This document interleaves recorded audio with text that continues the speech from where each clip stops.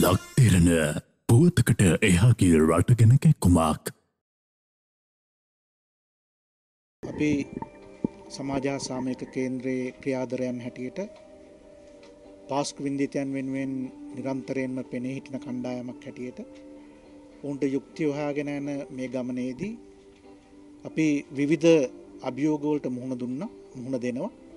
එක එකක් තමයි මේ අපිට අතට ගන්නට බැරුව ගිය මේ ජනාධිපති කොමිසම් වාර්තාව වෙලුම් ටික ද මේ වෙලුම් පාර්ලිමේන්තුවේ පුස්තකාලය පුස්කන එක තම අපි දන්න.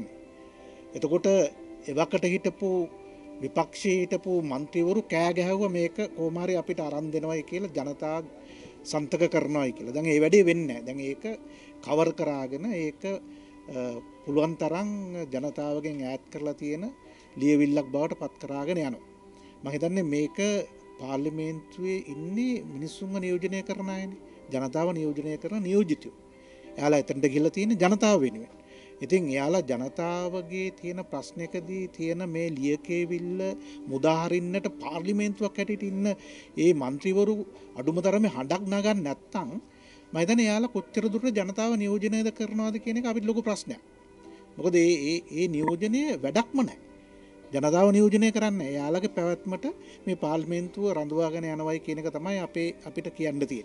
ඉතින් අපි විශ්වාස කරනවා මේ ලියවිලිවල අපිට අවශ්‍ය කරන මේ නඩු විභාගවලට අවශ්‍ය කරන මේ සත්‍යය ස්වාගෙන යන ගමනට අවශ්‍ය කරන යුක්තිය පසඳාගන්නට අවශ්‍ය කරන ගොඩාක් තොරතුරු ඒ අපිට දීල නැති ඒ වෙළුම් වල තියෙනවයි කිය. එහින්ද වෙන්න ඇති මේ වෙළුම් අපිට නිදහස් කරන්න ඇත්තේ දැ මෑතකද හිටපු ජනාධිපතිතුමා කිව්ව තවත් වෙළුම් වගේයක් ගෝටාබේ රාජපක්ෂ ජනා හිටපු ජනාධිපත්තුමාට දුන්න. ඒවා ඒ වෙළුම් කෝ කියලත් ඇහැව්ව දැ මේක මාර අභිරහස්මය තත්වයකට මේ රට මේ ඩොකීමන් සොක්කොම් පත්වෙන්නේ මේ එකෙක්වත් එක්කෙනෙක්වත් අපිට විශ්වාස කරන්න බෑ. ඔක්කොම කියන්න බොරු. මහිතන්නේ අපි ඉතා ඕනෑකම ඉල්ලා සිටිනවා. අපි මේ වරප්‍රසාද පාලිමෙන්තු වරප්‍රසාද ඔස්සේ සංගවාගෙන ආරක්ෂා කරාගෙන ඉන්න දේවල් මොකටද කියලා අපි අහන්නේ. විශේෂයෙන්ම මේ වගේ ලියවිල්ලක්.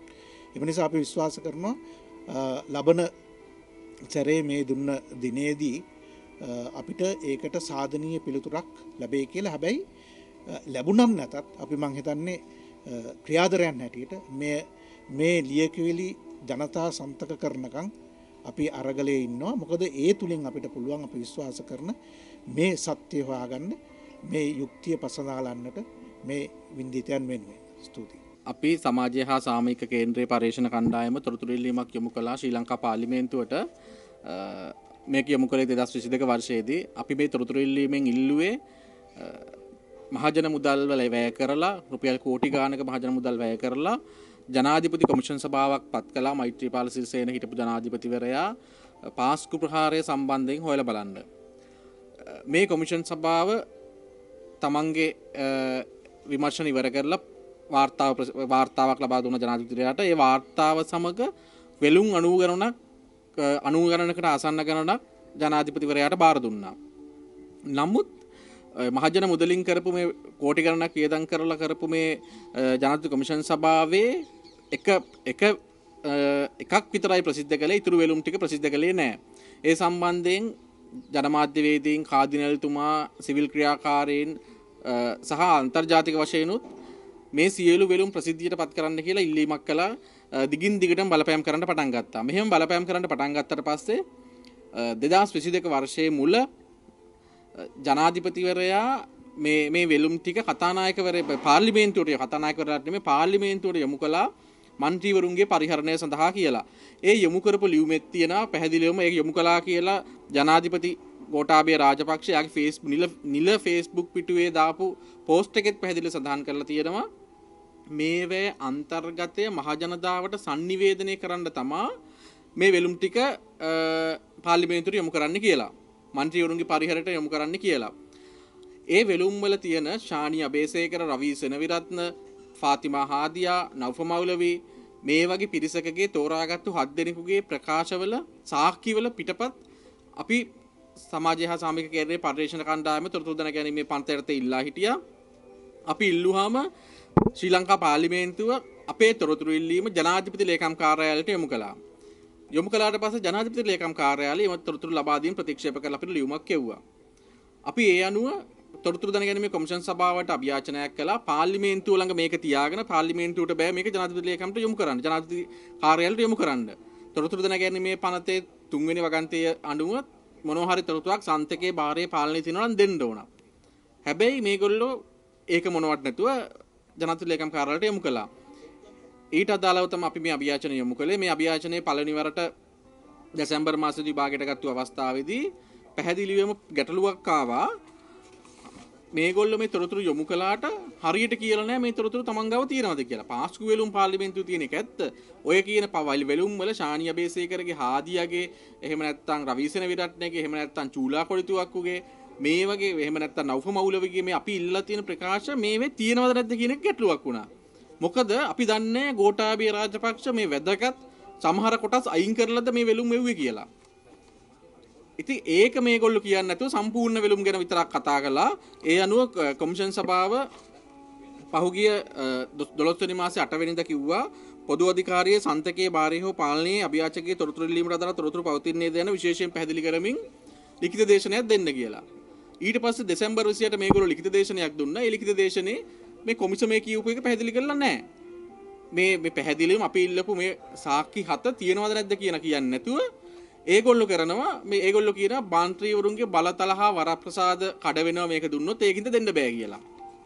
මුලින් මුලින් ජනාධ ලේකම් කාර්යාලයට යොමු කළා ඊට පස්සේ ඒක අවුලක් කියලා දැනගත්තාම වෙනත් හේතුවක් දාලා මේ තොරතුරු දෙන්න තු ඉන්න උත්සාහ කළා. ඒකට ඒගොල්ලෝ කිව්වා කතානායක නියෝගයක් කරලා තියෙනවා මේක පුස්තකාලේ තියලා තියන්න කියලා. ඒක හින්දා දෙන්න බෑ මේක දුන්නොත් එහෙම බලතල හා බල ප්‍රසාද පන්තු උල්ලංඝනය වෙනවා කියලා. දැන් පාර්ලිමේ ගොඩක් දේවල් වලට මේක දැන් ජනමාධ්‍යවේදී මර්ධනය කරන්න විවිධ දේවල් වලට පාවිච්චි කරන්න හදන්න මේ වරක් ප්‍රසාද පනත. ඉතින් අපි පැහැදිලිවම කිව්වා කතානායකවරයා නියෝගයක් කියලා නැහැ. කතානායකවරයා පාර්ලිමේන්තුවට දැනුම් දීලා තියෙනවා මන්ත්‍රීවරුන්ගේ පරිහරණය සඳහා පාර්ලිමේන්තු පුස්තකාලයේ තැබීමට අවශ්‍ය කටයුතු කරනවා කියලා. ඉතින් මේක මන්ත්‍රීවරුන්ට දැනගන්න ලොබි එකේ තියන්නවත් පාර්ලිමේන්තුවේ පාර තියන්නවත් බෑනේ තියන්න ඕන පුස්තකාලේ. ඉතින් මන්ත්‍රීවරුන්ගේ පරිහරණයට පුස්තකාලේ තියෙනවා. මේ පුස්තකාලේ තියෙන එකෙන් ෆොටෝ අරගෙන හාදියාගේ හට උත්තරේ සමහර පිටු වර්තමාන ඇමතිවරයෙක් වෙච්ච හරයින් ප්‍රනාන්දු විපක්ෂයේ ඉඳි Facebook පවා දාලා තිබ්බා. අපි ඒකත් මීට කලින් කමිෂන් සභ තොරතුරු දැනගැනීමේ කොමිසමට කිව්වා. එහෙම කියලා තියෙද්දි තවමත් මේක දැන් මේ අපි අපේ තොරතුරු ඉල්ලීමට අවුරුද්දකට ලං වෙන්න එනවා. ඒ වගේම තමයි මේ අභියාචන විභාගයට අරගෙන මාස 5කටත් වැඩි අභියාචනා කළා මාස 5කටත් වැඩි අද ඇත්තරම මේක කැඳවපු අවස්ථාවේදී කොමිෂන් සභාවෙන් ප්‍රශ්න කළා අපේ ලිඛිත දේශනය සම්බන්ධයෙන් අපි ඒකට කරුණු පැහැදිලි කළා. ඒ වගේම තමයි අපි අපි අපි අපි අපි අපි අපි කිව්වා පාර්ලිමේන්තුව විවිධ හේතු කියලා අපි නොදීන උත්සාහ කිරීම ගැන කිව්වා. අවසානයේ තොරතුරු දැනගැනීමේ කොමිෂන් සභාව මේක ජූනි මාසේ ජූලි මාසේ 5 වෙනිදාට කල් තිබ්බා. අපි පැහැදිලිවම කිව්වා මේක ජනමාධ්‍යවල අවධානයට ලක් වෙලා තියෙනවා. අවුරුදු 4ක් තිස්සේ පාස්කු වින්දිතය බලන් ඉන්න මේවා එළියට එනකන් මේ පියතුමල්ලා කාදිනල්තුමා වගේ විවිධ පිරිස් මේක බලන් ඉන්නවා. එක්සත් ජාතීන්ගේ සංවිධානයේ එක්සත් ජාතික මානසික කොමිෂන් කොමිසමේදී මේක කතා වෙලා තියෙනවා. එහෙම තියෙද්දි මේක දීර්ඝ කාලයකට කොමිෂන් සභාව කල් තිබ්බා. ඒ වගේම තමයි දැන් පාස්කු ප්‍රහාරයට අවුරුදු 4ක් වෙනවා අප්‍රේල් 21 හතරක් වෙලත් මහජන මුදලින් කරපු මේ පාස්කු වෙලුම් පාස්කු කොමිෂන් සභාව ඇත්තටම මුනේ මොකක්ද කියලා මහජනතාවට දැනගන්න අවස්ථාව නැහැ.